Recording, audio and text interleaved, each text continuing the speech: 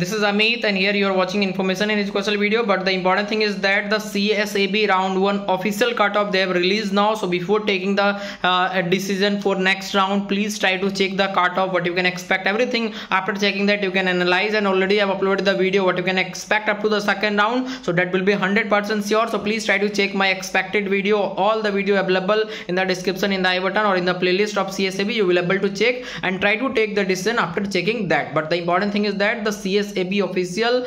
Cutoff has been released on the official website. You can check it. That is by going to down. There is an option that is opening and closing rank of 2023 you will able to check the detail of every college that is NIT triple IT GFTI up to 8 lakh rank. Uh, also a student have got the seat in NIT college that is home state ST, ST student. I have checked in IIEST Shibpur in other NITs also 4 lakh 5 lakh rank. Particularly for SC ST student I am talking about for general also it is 1 lakh and more than 1 lakh rank. A student have got the seat. Seat so like this student are getting the seat. So you have to take the right decision if you need the guidance regarding that what you can expect what you need to do.